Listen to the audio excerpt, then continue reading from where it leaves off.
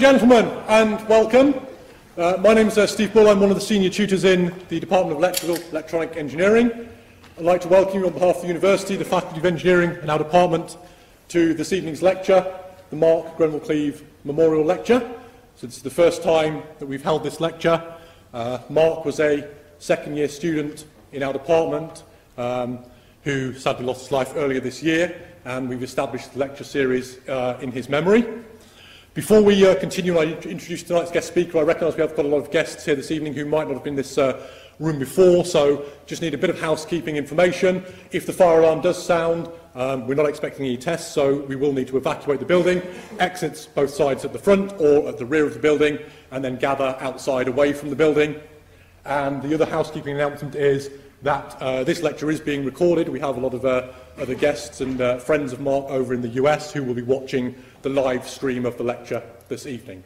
So as long as you're aware of those bits of information, um, without further ado, I'd like to introduce uh, Robert Smith. Robert works for a company, Rigetti Computing in the US, um, which he's going to tell you a lot more about as he goes through the lecture this evening, which is entitled uh, How to Program a Quantum Computer.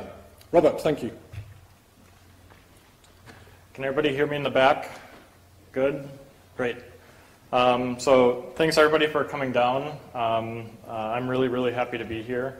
Um, I apologize a little bit for my jet lag and also that I have this big stack of crib notes uh, that I want to follow, but I want to make sure I get through the points and get them done on time. Um, so I work as Director of Software Engineering at Rigetti Computing. We're a company that builds quantum computers and deploys them. Uh, they're actual real devices, which you'll see soon. Um, I work mostly on the, of course, the software aspects of this. Um, and uh, I'd like to talk uh, a little bit about how we might think about programming a quantum computer, sort of from, from first principles. Um, so uh, before I begin, I would like to talk about my friend, uh, Mark Cleave. I'd like to introduce you to him. Um, the namesake of this lecture is named after him, of course. Um, in my career, uh, I've had a chance to meet lots and lots of people. Uh, I do lots and lots of interviewing, uh, lots and lots of uh, speaking to people from other companies. Um, and it goes without saying that Mark was truly on another plane. Um, you meet all these people who get double majors, triple majors. They've accomplished many, many different things, maybe published papers before they even got out of school. Um, but to me, Mark was a sort of like millennial Steve Wozniak. Uh, he had a penchant for good quality, uh, sort of grounded engineering, um, and he really knew how to do engineering from first principles. Uh, this is, of course, a picture of him uh, typing on his laptop. Um, He's also super into old computers. Um, I would not be surprised if many of you don't recognize every single machine uh, there. Um, I had the opportunity of knowing Mark for about a quarter of his life um, in the pursuit of finding like-minded individuals. Perhaps many of you are like this as well. Uh, we met online, uh, met in different channels for actually old computers.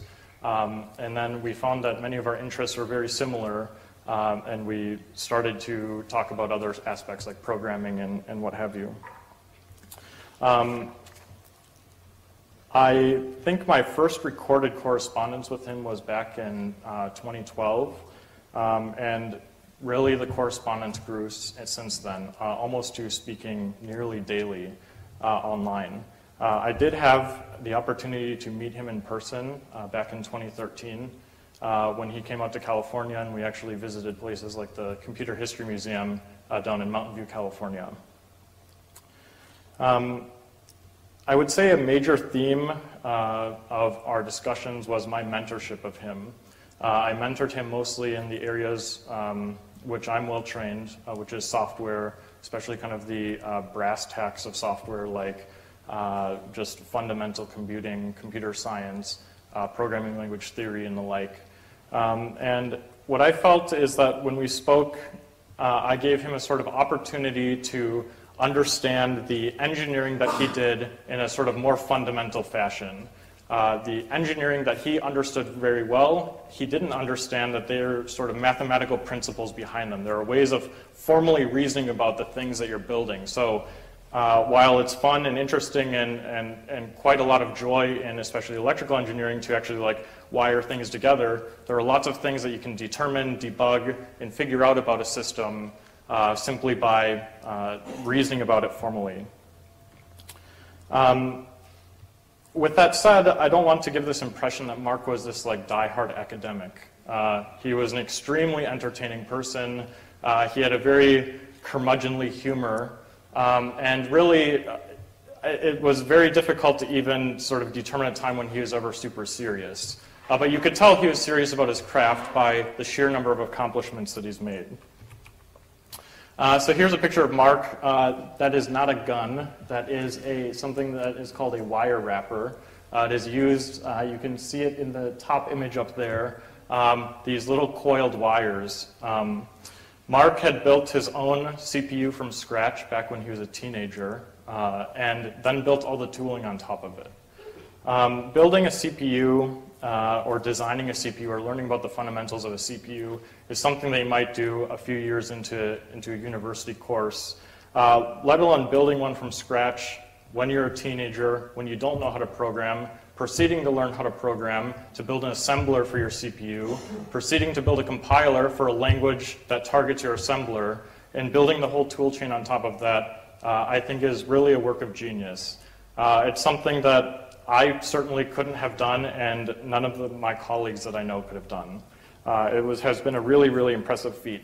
Uh, so this board right here uh, is one of the boards. Uh, it's actually a clip from a YouTube video, which you can see where he explains it uh, with total competency, um, explaining how the, the, the CPU that he built actually functions. In my opinion, before he even entered university, he really had all of the um, knowledge to claim a degree in computer engineering. Um, I don't want to underestimate the, the, the, the feats that he's gone through. A little bit more about the software. This is actually a little snippet of code uh, from his from his software. I don't know if people can read it, um, but it, it's, it, it's very serious but playful at the same time. So um, it's hard to recognize, but this assembler uh, actually has a structure of something called a NanoPass compiler, which is something that came out, uh, a relatively recent idea that came out within the past 15 years, I think, at the University of Indiana. Uh, and it's a way of structuring your compiler in such a way that it's very, very easy to understand. It's very compartmentalized and very modular. Uh, but in there, you can see all these fun comments. Uh, the top comment up there says, uh, slightly less dirty could almost be considered clean. And in the middle of it, it just has things like black magic, but then the comments proceed to say, like, substitutes things built up in the environment, substitutes registers for values, et cetera, et cetera. Um, this isn't a functional programming language. He coded it in a functional subset of the scheme programming language um, and used, by and large, immutable data structures. Uh, even to lots of expert software engineers that I work with, uh, this in and of itself is like a difficult thing to come by. Uh, and I find it especially difficult for individuals who think in terms of machines, think in terms of, of, of mechanisms that have state. Uh, Mark was also the kind of person who uh, was a little bit against the establishment. Uh, he was a little bit nonconformist, um, and so I feel that I have to prioritize that a little bit I realize I'm in a university, but I had to do something that Mark would do, uh, which is get a little shot of gin and do it in the middle of my talk.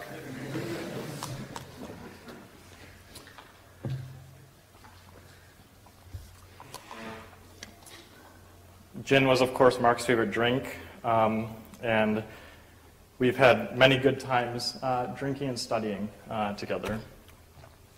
Uh, as a final picture of Mark, uh, this is him working on uh, yet another old computer, and it seemed to be a theme. He seemed to have an appreciation for uh, the lessons that one could learn in technology that was uh, very well engineered and very old. Uh, it's my profound honor to be able to speak at this first lecture in his memory, um, and without further ado, I'd like to continue talking about something which he loves a lot, which are computers.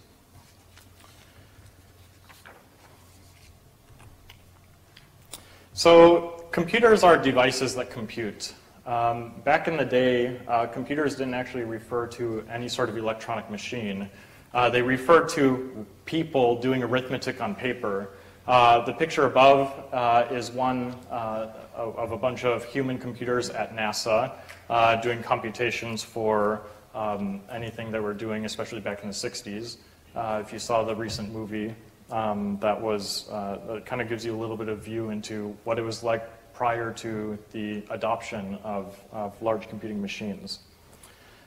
Um, the development of computers, however, sort of uh, dovetailed along with the development of the formal notion of computation. Um, almost philosophically, uh, many people, uh, including these two individuals, thought about what a computation is. Um, these individuals are, are, Alonzo Church and Alan Turing. Uh, interestingly, uh, Church was uh, Turing's thesis advisor yet they had very, very different ways of thinking about what computation is. So Alonzo Church thought about computation uh, with a sort of mathematical edge to it. He thought about computation um, expressed in terms of these mathematical formulas called lambda terms uh, to create a, a computational study called the lambda calculus. Uh, the notion of computation itself was encoded in how these terms simplify. Um, it's a very rough analogy, and for experts in the crowd, I'm going to be making lots of rough analogies uh, in this talk. As a very rough analogy, you can think of computation as uh, doing the equivalent of simplification of an expression. Um, it's not quite true because the expressions in the lambda calculus sometimes expand, uh, become greater, uh, sometimes don't even terminate um, in their uh, simplification. But nonetheless, the, the feeling of a computation was writing down a mathematical formula and manipulating it uh, in a very formal sense. Turing did a completely different idea. He thought of computation as something to be executed by a machine. Um, this is a little uh, cartoon drawing of, of, something that has uh, become known as the Turing machine, um, uh, which is dedicated in his name. Uh, the Turing machine is, is a machine that, that encapsulates this idea of an abstract machine. Um, you'd never actually build a Turing machine. It's just useful uh, to think about. It's useful to uh, prove certain theorems or facts about computation, um, but it's not something you'd actually construct. Nonetheless, uh, it really brought forth this essence of thinking about computation as work done by machine. A lot of this talk I actually want to dedicate to talking about the notion of an abstract machine. Uh, to me personally, the study and thinking of abstract machines is what allows me personally to even broach the subject of quantum computation. Uh, so before getting into that, I do want to spend a good amount of time uh, on abstract machines. So Feynman, uh, Richard Feynman was a very, very great lecturer. He was a very, very great physicist.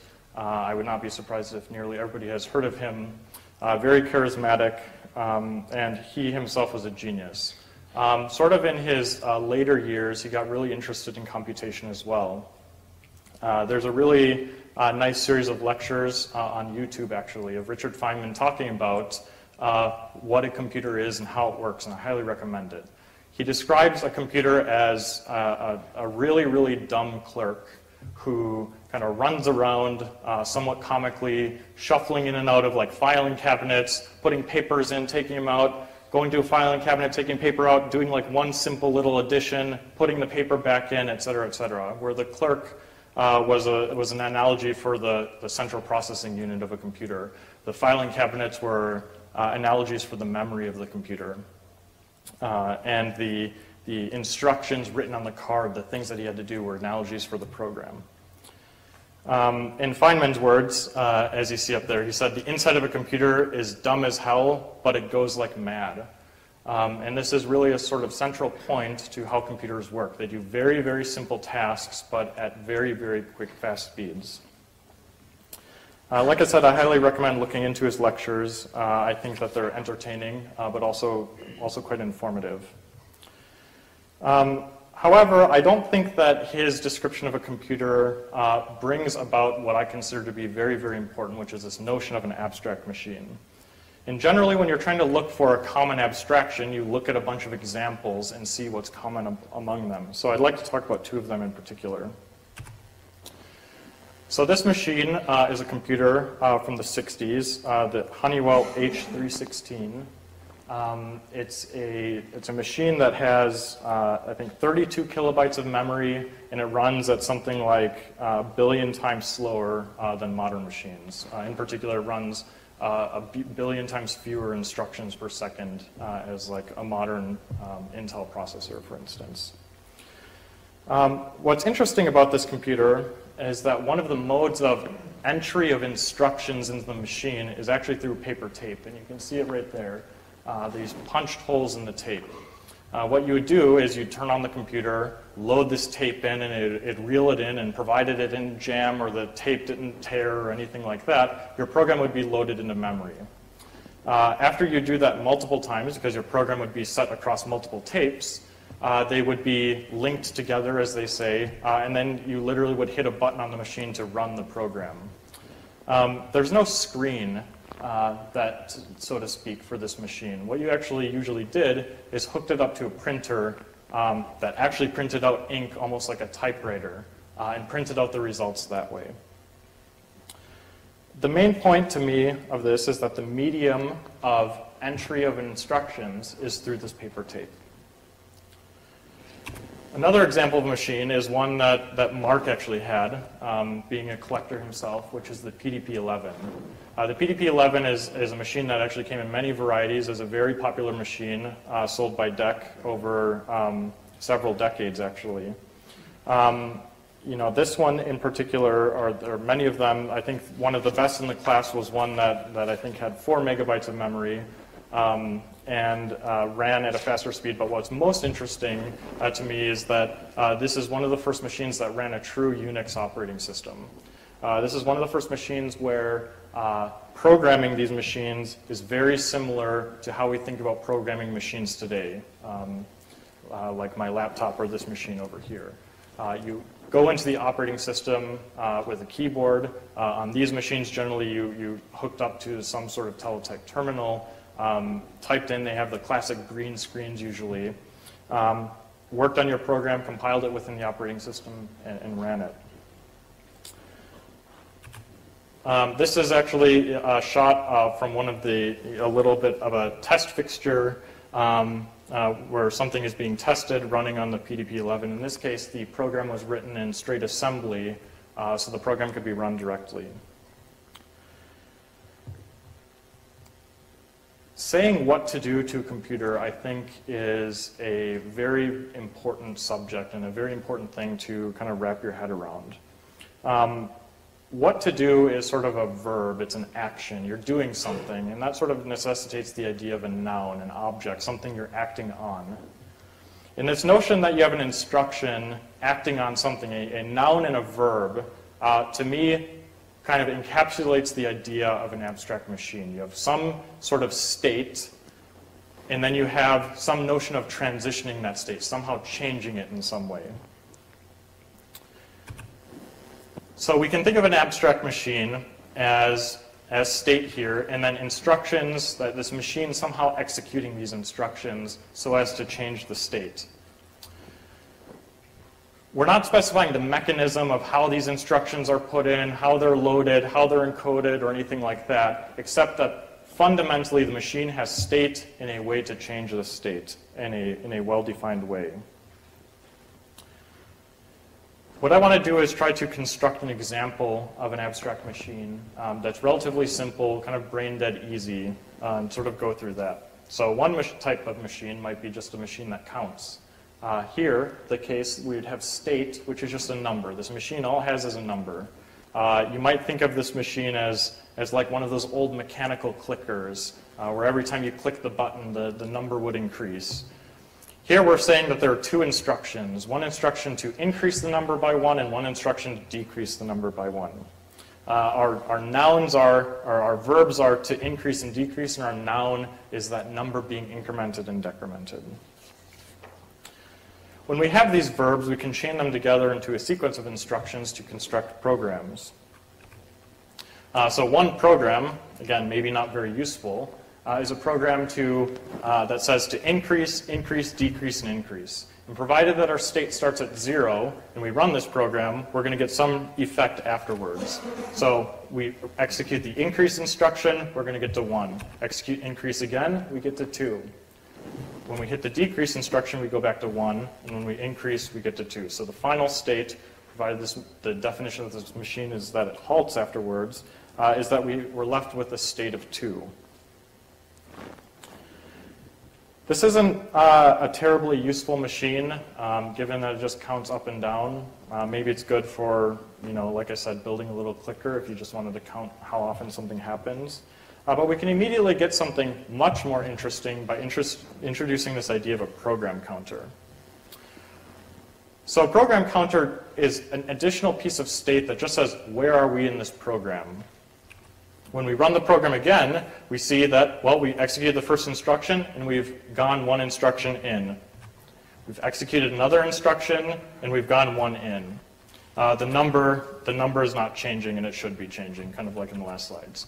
Uh, but the main point is that the program counter itself is increasing as we go up and down through instructions. So what might be interesting is to add an instruction that itself takes into account this program counter state as a part of the computation itself. If the program counter state is dictating where we are in the program, then it might be nice to effect where we are in the program. So we might add another instruction, jump when positive, which says that if our number itself is positive, then we want to jump forward or backward a certain number of instructions dictated by this number n. So we can construct an interesting program. Uh, maybe we do a decrease instruction first, and then jump when positive in negative 1. So we jump back an instruction. Uh, you should take a moment to think about what this program might do if we were to run it.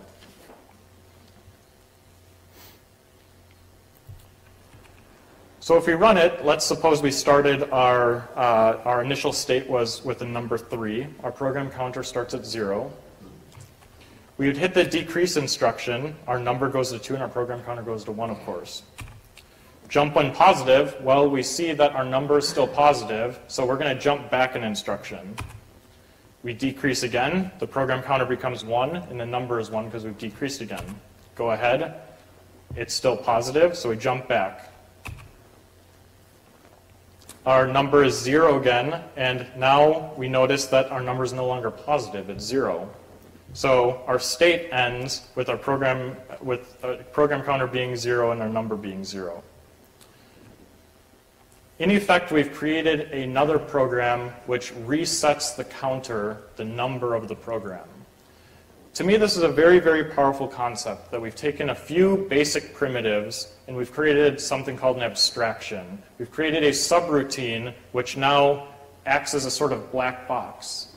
We might call this subroutine reset. So every time we call this sort of pseudo instruction called reset, um, what's actually going to happen is that our program counter is going to decrease back to zero.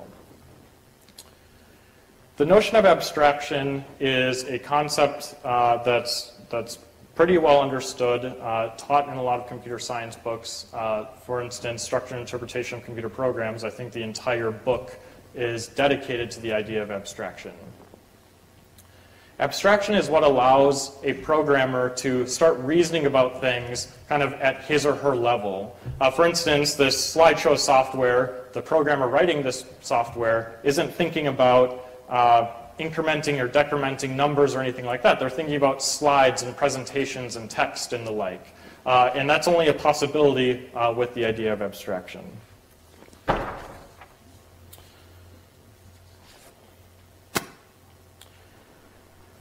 So to recap, uh, an abstract machine is something that has nouns and verbs. Uh, these verbs affect these nouns uh, in various ways uh, in the form of state and state transitions. Because I promised that I would talk about uh, how a quantum computer works, I do feel necessary to uh, delve into physics just a little bit. Um, but as we'll see, there's actually a lot of similarities between what we've spoken about so far um, and the physics that we will discuss. So there are, there are lots and lots of fields of physics. Uh, you can't encapsulate them all in even a single slide. Um, but as it pertains to the motion of bodies and, and the like, uh, I would broadly categorize there to be sort of three main fields of physics. There's the physics of how stars in the universe move and work and how gravity works and how things over extraordinarily large distances are affected over time. Um, this is what I sort of call the physics of the large, and formally this is called general relativity. Then there's the sort of physics of the ordinary. There's, there's the laws that govern how billiard balls move, how cars work, how uh, just about anything that's sort of life-size, quote unquote, uh, operates. And this is called classical mechanics um, or Newtonian mechanics as a particular type of classical mechanics. Then there's also the physics of the small. These are like really, really small items like subatomic particles, molecules, and atoms. Uh, they, don't, they are not governed by the same laws of physics uh, that we sort of see day to day in our lives. Really weird sort of types of physics. Uh, and this is called quantum mechanics. I want to discuss, uh, start a little bit about classical mechanics and then get into uh, quantum mechanics a bit, uh, which we'll need to understand how the quantum computer operates. So classical mechanics has a long and rich history. Um, I'm not going to uh, go through everything about it, uh, but one of the main takeaways from my studying of classical mechanics uh, is that you can actually really think about the world itself as a large machine. Using the laws of classical mechanics, uh, you, can, you, can, you can reason about the world as if, as if there was a bunch of state. Uh, I might think about, for instance, this bottle of water right here as a bunch of little point masses. Each of these little points themselves move through space in different ways. Uh, and if we were to somehow characterize what each and every little mass did, um, then we understand the mechanics of the bottle itself. Now, in classical mechanics, it's well known that if you know the positions of everything and the velocities of everything at any instant in time, for instance, this bottled water is roughly standing still, its position is right here on the table, and its velocity is zero, it's not moving at all, then we can predict that this bottle is not going to move. Uh, it's a little bit sad in that sense because if you, if you know the initial state of something, then you know its entire future and past. Uh, but fortunately, um, at least the way I think about it is humans have free will, so we can arrange our reality in such a way that we can take advantage of the laws of classical mechanics to do useful work. Uh, and in fact, build computing machines. So we see here um, that, as I said, uh, that we can think of classical mechanics as indeed an abstract machine itself. Uh, kind of using the, the diagrams that I showed earlier, uh, our state our nouns, so to speak, are the positions and velocities of a bunch of little masses. Again, if we were to divide this bottle up into a bunch of little pieces, and we recorded every single position of each little piece, which I've denoted here by P1, P2, et cetera, et cetera, and we denote every velocity of each piece by V1, V2, et cetera, et cetera, then we can run this machine by running it through Newtonian mechanics, uh, in particular uh, Newton's equations.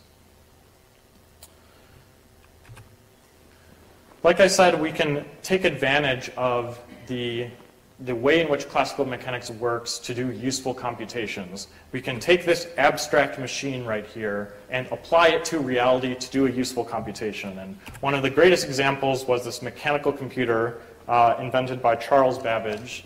Um, I think he was at Oxford, I believe, uh, when he built, uh, when he started working on it. Um, this itself was not built by him. This was commissioned um, to be built by Nathan Myhrvold, um, and it has been sitting housed at the Computer History Museum for quite some time. This machine is one that is purely mechanical. It's used to evaluate uh, these mathematical objects called polynomials.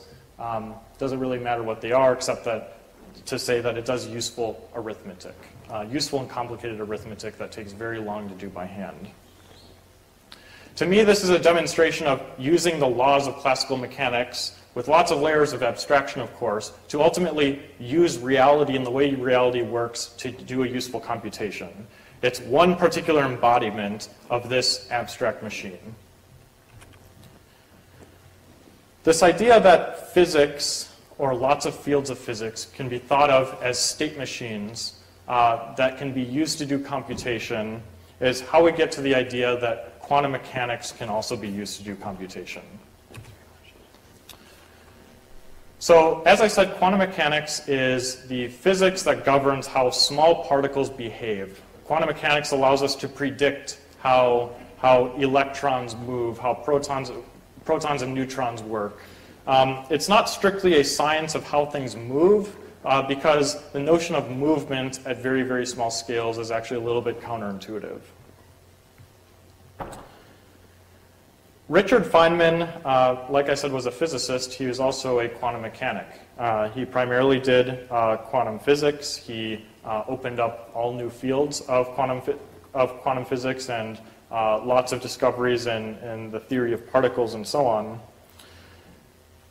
And it's he actually uh, supposed in the 1980s that quantum mechanics could be used to do some sort of useful computation, that we could, we could make sense of the laws of quantum mechanics in order to compute something which would otherwise be very difficult to compute.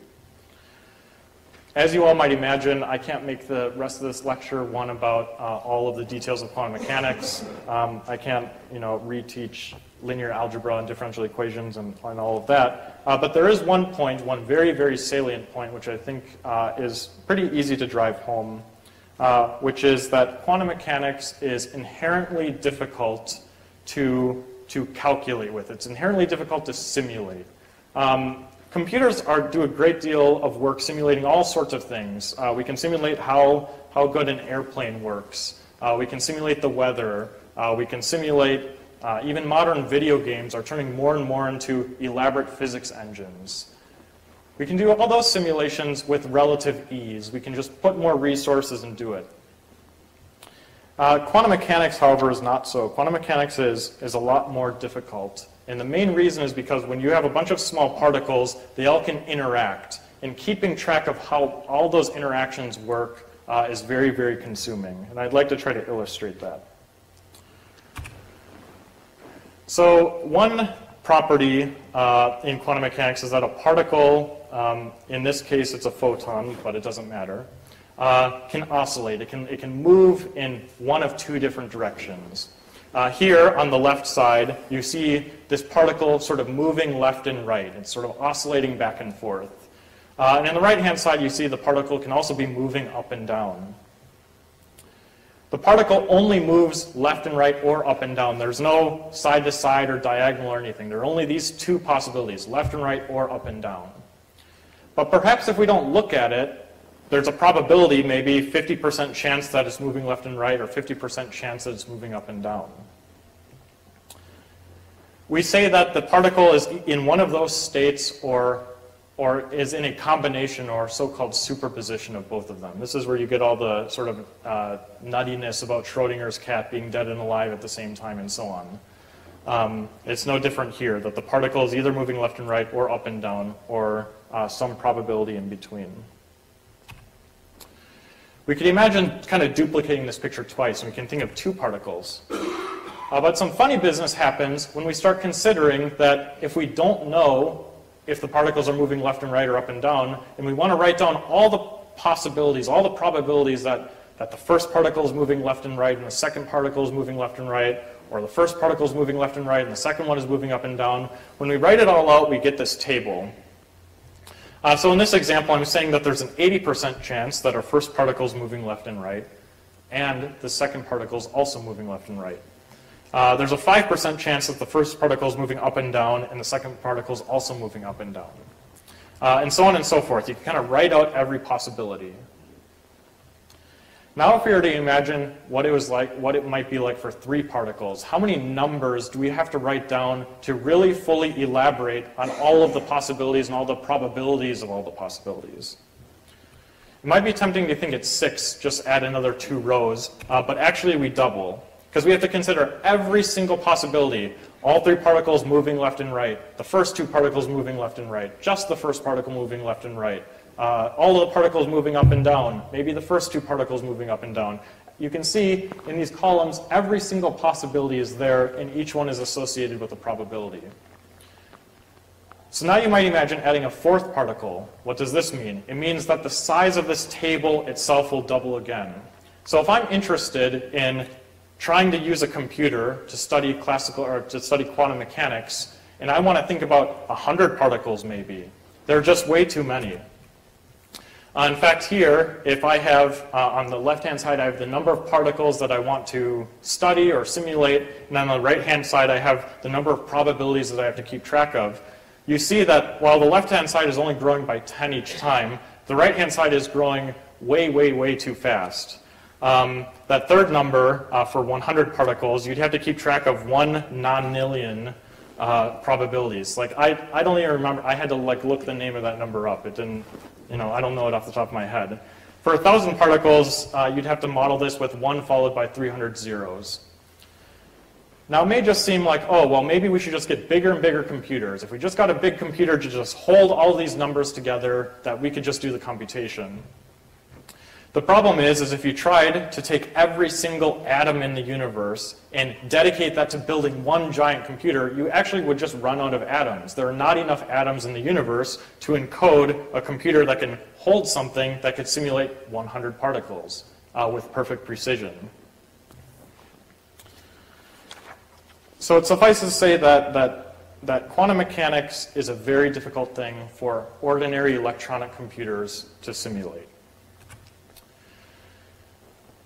Feynman also thought of this, um, being a smart guy, and he said, well, if we're not going to use an electronic computer to simulate quantum mechanics, let's use quantum mechanics to simulate quantum mechanics. Let's think about quantum mechanics itself as an abstract machine that if we could build in some way using the state of quantum mechanics and the transitions, the state transitions that come together with quantum mechanics, if we could build a computer, then we could tackle these problems. We wouldn't need to store every single probability because it'd be inherently encoded in the quantum mechanics itself. He took the first step. Um, he was motivated mostly by, uh, by what I might say chemical interactions and the like. He, he created these objects uh, which he referred to as lattice works, where he had a bunch of atoms kind of arranged into a lattice, and you could sort of do these pairwise interactions. Uh, however, Feynman didn't really deeply broach the, the technical subject in this way that, that Church and Turing did of classical computation. They didn't really find, uh, Feynman didn't really discover what new computation you could do, how it was, and so on. He didn't give us a formal theory for understanding this stuff. Uh, it was nonetheless a good idea. So what I want to start getting into is how we can start thinking about a quantum computer using these ideas of an abstract machine. So after Feynman, uh, there was somebody, David Deutsch, um, who did think about this stuff. Uh, he thought about the question, what is a quantum computation? In the same way that, that Church and Turing thought about what is a computation. Uh, he's, uh, he's at the University of Oxford. Um, he, he did this, his study, he did his work and published a paper um, back at the University of Oxford in the 80s. Um, and following suit with Turing, he, he attempted to create a machine, a machine that simulated quantum mechanics uh, to do quantum computations. Uh, this is a direct quote from his paper. He said, like a Turing machine, a model quantum computer consists of two components, a finite processor on infinite memory, of which only a finite portion is ever used. The computation proceeds in steps of fixed duration, and during each step, only the processor, uh, at each step, only the processor and a finite part of memory interact, the rest of the memory remaining static. To me, this description doesn't read like anything you'd read out of a normal quantum computing textbook. This reads like a machine that executes steps with a certain number of resources. It doesn't say exactly what the steps are here in this little excerpt or, or exactly what the machine looks like, but you can see that we're sort of getting a mechanical description of something. While I think Feynman gets a lot of credit for thinking about quantum computation, I really think that, um, that it was uh, Deutsch who really opened the field of quantum computation. Uh, and so, in fact, I really think the UK here, which I'm happy to be in, is actually the birthplace of, of real quantum computation. Uh, and in fact, Deutsch's paper led to the quantum Turing machine, which is sort of two for two uh, for the UK in defining um, computation in general. Um, so the quantum Turing machine is what comes out of Deutsch's paper, which is an analog to the Turing machine, um, but expands its computational abilities in various ways. Uh, he defined this in formality. Um, again, it's just like the Turing machine. It's not useful here to talk about it, but we can get to the essence of what this machine uh, might look like. So now I have to uh, abstract away from some of the things I talked about and, uh, and define a qubit. So a qubit is, is, as it sounds, is like a quantum bit. Um, but really, the way to think about it is that when you have something that can be in two states, or possibly in one state or the other with a certain probability, then you can think of it as a qubit. Um, yes, I am uh, speaking again very roughly here. Uh, the, the correct definition of qubit is like a two-level system in this complex finite dimensional Hilbert space and blah, blah, blah. Um, but more or less, a fine way to think about is something that can be, like for example, this photon going left and right or up and down. So a qubit is an, is an abstraction of the possible nouns in quantum computation. There can be other types of qubits. Uh, for instance, uh, superconducting charge qubits, as they're called. Uh, it's, a, it's a really crazy name, um, but in the end, it follows the same abstraction of having two states and a possibility of being in either or. So in this case, a superconducting charge qubit is actually a little bit more concrete than this photon business. Uh, you can see up there, there's uh, a chip. Actually, each of those large squares in the chip is a collection of eight qubits. Uh, eight superconducting charge qubits. Uh, you can barely see it. There are tiny, tiny little squares in those things, eight of them, and each of those itself is a qubit. So the main point is that these little circuits either have a charge or they don't have a charge or they possibly do with a certain probability. Uh, and that makes them uh, perfectly viable qubits. But what's more interesting is that they're made out of silicon, using the same, more or less the same manufacturing techniques that we use to build any other kind of chip. Um, it's amazing that, to me, that a quantum computer is something that you can just hold in the palm of your hand. So like I said, it's not important to get into all the details of, of how they work, but I do want to talk about kind of a little bit more context around superconducting charge qubits. So this chip that you have right here, you house in one of these white refrigerators that you see in the background. Um, the reason for this is that they have to superconduct. And in order to superconduct, they have to be very, very cold. Uh, superconducting means that electricity flows through it without resistance. Uh, I don't know if you guys have ever like put a wire on a battery or shorted the terminal, but it heats up. It heats up because the wire is resisting.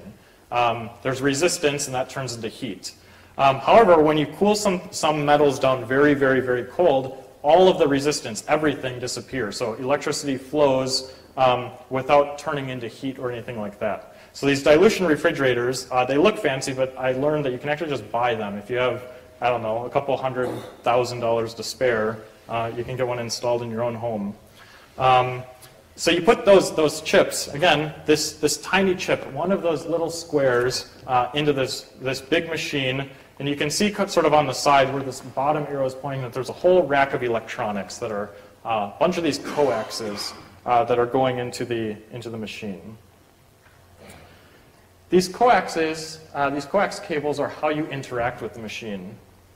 Um, it turns out that these circuits are not electrical circuits. Uh, they're circuits that uh, use microwaves. Uh, they're the same types of circuits that you'd find in an antenna or a radio or even Wi-Fi. Uh, anytime you have electromagnetic radiation, um, anytime you have a radio, basically, uh, you're going to have some sort of radio circuit. Um, so indeed, uh, this circuit is not an electrical one, it's, a, it's a radio circuit. Uh, so how do you interact with radio circuits? Uh, well, the same way you act, uh, interact with any other radio circuit, uh, which is you send waves into it. Uh, so here's another picture of the chip. Uh, the chip is just the tiny thing in the middle, and it's housed in this, in this thing we call a puck. It's a mechanical fixture that allows you to load it into the, into the dilution refrigerator. And these lines, these little circles on the outset, allow us to contact and send microwaves into it. So how we interact with this machine is we generate a microwave pulse, radio pulse. and we fire it in, and it travels into the chip and it just affects it in some way. Again, it's like a state machine. Uh, the internals of this machine are the, the state of the qubits, and the pulse does something. So in that sense, we can start thinking about two new verbs. We can think about the, the verb to transmit and to receive.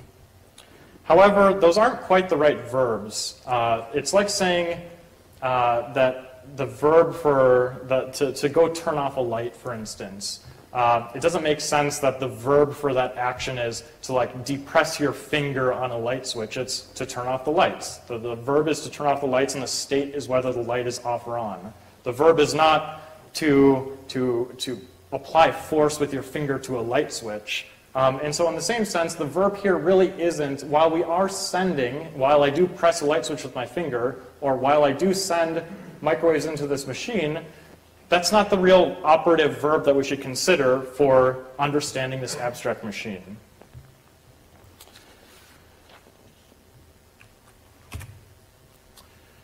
So one of the simple operations that we can consider is measuring a qubit. This is a really simple thing. I said that qubits are things that can be in one state or another, or possibly one or the other. At some point, when you actually look at the qubit, when you look at it or measure it using a measuring device, you can actually see if it's one or the other. For instance, uh, with these superconducting charge qubits, you can actually measure, does it have a charge or does it not? In the end, you'll get that measurement, and measurement itself is a verb in this system. Uh, so how do you do a measurement with a superconducting charge qubit? Well, you fire a pulse in, and basically you listen to see if anything gets reflected back. So you'd think of attaching all these instruments. One line itself is, is sending, this other line is receiving. I send a pulse in, and then I wait on the line for receiving. If I receive something, then that means there's a charge. If I didn't receive anything, then that means there's no charge. And we know with 100% certainty whether it has a charge or not. It turns out we can think of measurement itself as like an instruction. Uh, we can think of it as a proper verb in the system. Uh, here, the instruction is measure a qubit and put the answer into some classical memory somewhere. Maybe we have a box or something like that that says, does it have a charge or does it not? Uh, so our instruction here, our verb is to measure, and our nouns here are the qubit and the classical bit, um, or the classical memory that where we store the answer. So measurement is, is extraordinarily important to a quantum computer. It lets us like determine any sort of answer at all, because at some point we have to like look at what's there. Um, it's important in Cornerstone, um, but it doesn't exactly tell us how to like do anything with the quantum computer. Like, yes, we can read its state in and out, but we can't. We haven't insofar discussed how we do something. Fortunately, we have all the tools necessary to discuss the things that we can do with a quantum computer. Um, and so uh, one of my absolute favorite things um, uh, is, to, is to look at the qubit as a set of probabilities, and as such, I can think of it as flipping a coin. So sometimes when I want to make a decision, like if I can't decide, like if I want, I don't know, tea or coffee or whatever, um, I'll spin up all these like millions of dollars of hardware to simulate a coin flip on a quantum computer. I mean, it's all about probabilities, so it seems like a reasonable application to me. Um, so here, what I think is that I take a qubit, and if it has a charge, I say that's heads. If it doesn't have a charge, that means it's tails. So what I want to do is try to construct a program to do this. Like I said, qubits just encode probabilities, and a new concept, a gate application, is what allows us to change these probabilities in a favorable fashion for us. So when you power on one of these quantum computers, everything starts off as normal. Uh, the, the charge, there's no charge there to begin with. So you know with 100% certainty, as you can see in this table down here, uh, that the qubit of interest is always in the tails position, and there's a 0% chance that it has heads. So it's not a very useful coin flipper yet. So what I want to do is find some gate application, as they're called. The operations on a quantum computer are called gates. Um, we want to find some gate application that'll bring us to a table like this one over here, where we have a 50% chance of tails and 50% chance of heads, if we want to make a truly fair coin. So gate application is, is what we think of as the operations of a quantum computer. Um, Some of you might be wondering, though, that like, since we're sending in these microwaves, there could just be an infinite number of them. I mean, we could construct any such wave that we wanted to. I mean, even listening on the radio, you've probably never heard the same thing on the radio twice. It's always different. So there are all these enormous number of possibilities. And that sort of collides with this idea of having fixed, discrete instructions for the machine.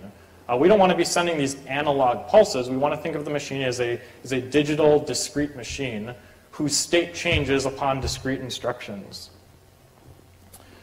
Fortunately, some people did math, and we learned that there are four gates that can encode any possible quantum computation. Unfortunately, the same people who discovered it also are terrible at choosing names. So we have these four really obscure sounding things, H, phase, T, and CNOT.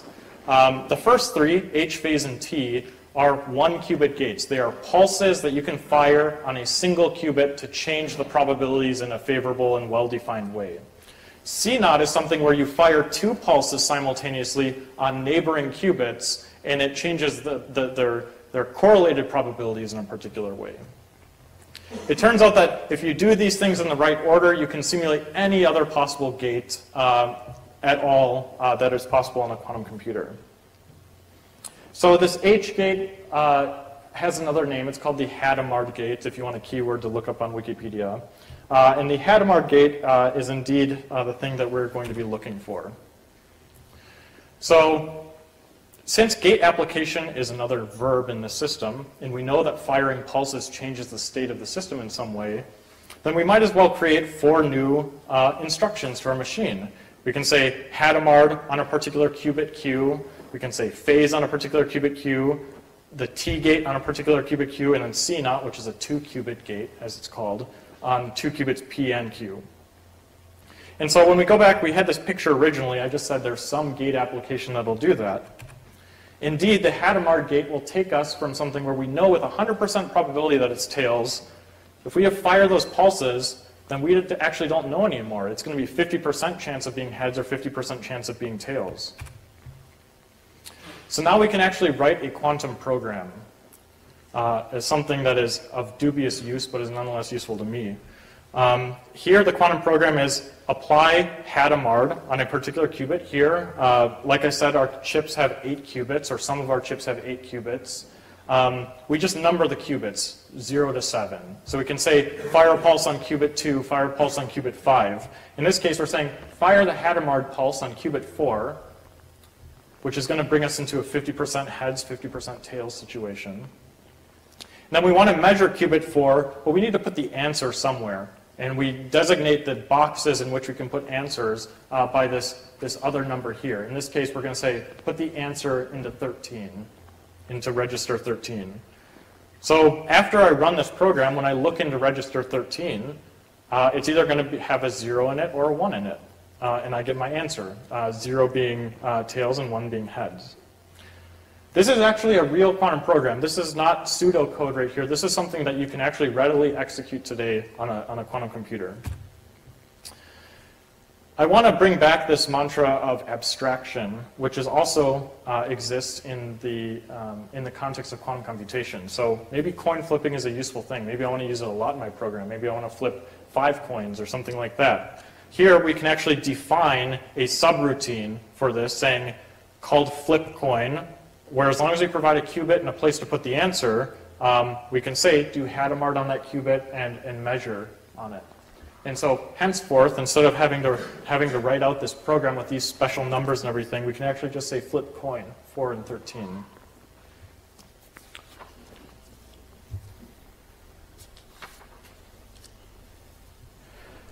So I want to drive the point home that thinking about a quantum computer as an abstract machine, something that has state in a particular collection of verbs to change that state, uh, to me has been a very fruitful way of thinking about how to actually write programs for a quantum computer. Uh, to recap, um, here, an n-qubit quantum abstract machine is something that has n qubits. That means we're going to have 2 to the power of n probabilities if you've been following along. Um, and then we're going to have a place to deposit the answers from measurements, and we can have as many as we want, maybe thousands. Our instructions here are, are measuring, uh, and then these, these four other gates, uh, H, phase, T, and CNOT. And with those four, those really form a sort of assembly language for, uh, for a quantum computer. So I talked about this sort of in the abstract, being abstract machines, but like I said, these are real programs and things that you can actually run. Uh, so if you're interested in actually all the like all of the nitty gritty details and actually the abstract machine model of a quantum computer, uh, there's a nice paper. Um, it's nice because I wrote it, um, called "A Practical Quantum Instruction Set Architecture," uh, which talks about the abstract machine architecture of a quantum computer with all these other frills and, and niceties that you get, like being able to reset all the qubits to zero, for instance, and actually being able to have that control flow that we did earlier where you can sort of jump around in your program. It defines it nice and formally. So on the left-hand side is for people who feel like they're mathematicians or maybe computer engineers who like that. But then the right-hand side is like people who just want to try stuff, uh, who don't really care about all the little details. Um, and so something that, that we've built at Rigetti Computing uh, is a little library in Python that allows you to construct these, these Quil programs. So this is actually, like I said, valid Quil. Uh, and, and PyQuil, you can construct these programs, but not only that, you can actually send them off to a real or virtual quantum computer. Um, you have to get an API key, uh, which you can sign up for uh, on Rigetti's website. Uh, but it allows you to access um, the real quantum computers and the virtual quantum computers if you sign up. Um, to me, it has been very, very interesting to be able to actually code on a quantum computer. My background uh, is not physics at all. Uh, I barely know anything about physics. But having a view of computer science and looking at things in terms of machines in the same way that often we look in, at, at, physical theories um, has been profoundly helpful to me to understand how to actually really program a quantum computer. I think this talk touches on lots and lots of topics uh, that were of interest to Mark.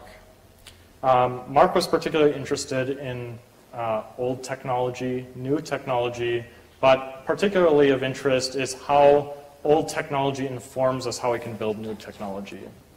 Um, we've discussed how we can take really, really old ideas, like the, the, the, notion of a Turing machine, or really what a Turing machine represents in the abstract sense, and apply it to something which is really bleeding edge, uh, which is quantum computation. If Mark were here today, this is how I think I would have gotten him to grok quantum computing. Um, if there's any topic that I've missed, I think it would be uh, Mark's love uh, for the Range Rover Classic. Uh, I want to say thanks to, I want to give a big list of thanks to, to many individuals. Um, first and foremost, I actually want to thank Mark's family for being able to make it here uh, from way down in southern England. Um, it's, it's really delightful, uh, and it's a pleasure to be able to speak. Um, I also want to thank Stephen, uh, who really pushed for this to happen. I mean, to a point where he was, he, he was really uh, getting on me for getting things done and, and over the finish line. Uh, I also want to thank the University of Nottingham. Uh, I've been very, very pleasantly surprised with how clean and nice and beautiful the, the campus is. Um, I'm also um, very, very happy for uh, the university's willingness to show uh, compassion and kindness uh, in and towards Mark's memory. Um, lastly, I want to thank, uh, give thanks to the crew uh, with whom Mark and I were banded together for a long time. These people are Toby Thane, Mark Skilbeck, Joey Gooley, Aaron Jackson, and Matt Young. Um, each of these folks were longtime friends of Mark, um, interacted with Mark in very diverse but nonetheless similar ways to uh, the ways in which I've described, um, but really gave him an environment to, to exercise his intellect and wit, I believe. Uh, without them, I don't even think this talk could have happened. Um, that's all I got. Uh, thanks everybody for being able to make it down here. Um, I'll be happy to take any questions that anybody might have.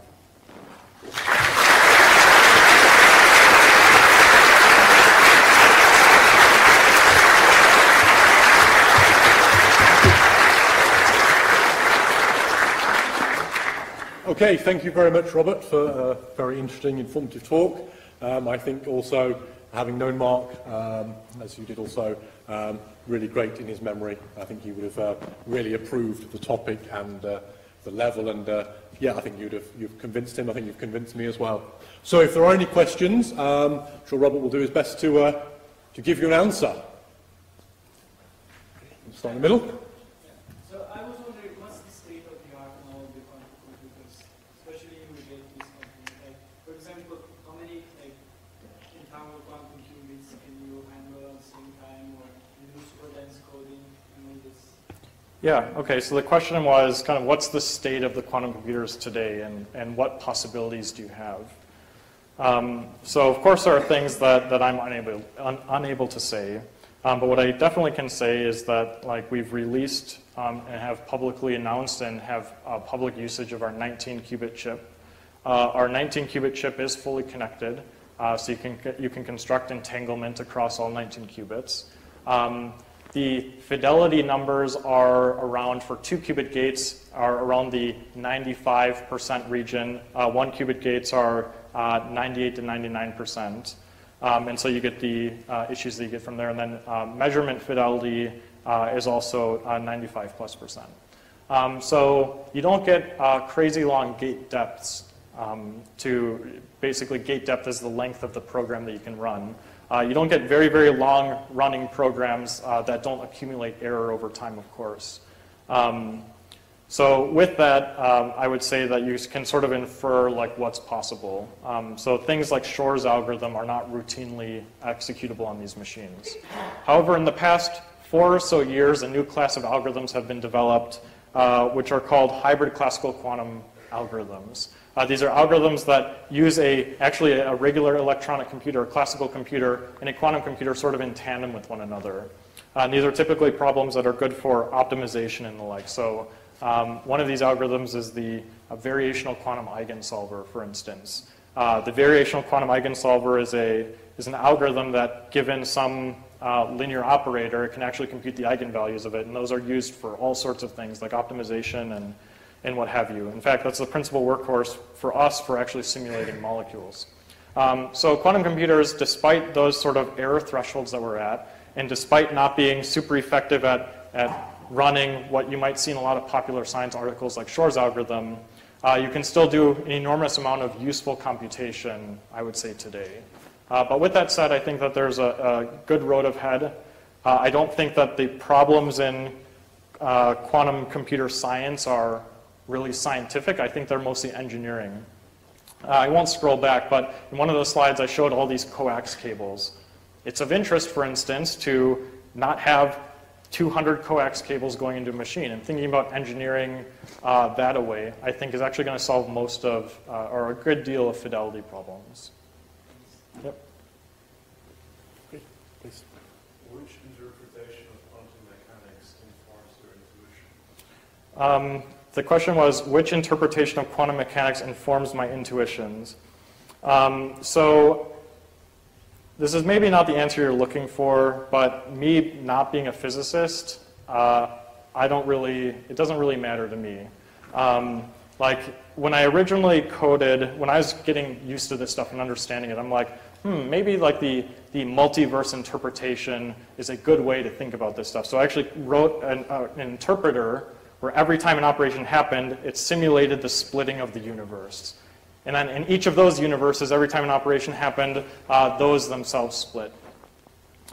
Um, for me, it hasn't been useful to think about a physical interpretation of quantum mechanics, probably partially because I don't care a lot, but also because I think of the, like this, this way in which I think about quantum computation that I presented today is much more fruitful in, in eventually getting things to work and get done.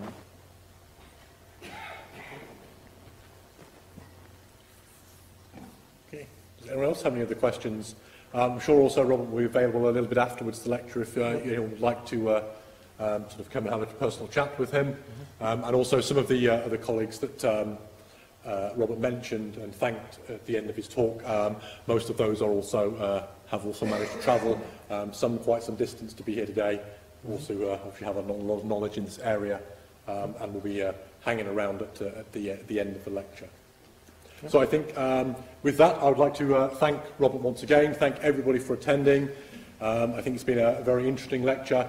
Um, hopefully, we've uh, started what will become um, the annual series of the Mark Grenville Cleave Memorial Lecture, which each year will be dedicated to some kind of computing topic, be it old or new, um, in Mark's memory, being those being his sort of his real passions and real interests. And thank you very much for everyone coming tonight. Thank you. Thank you.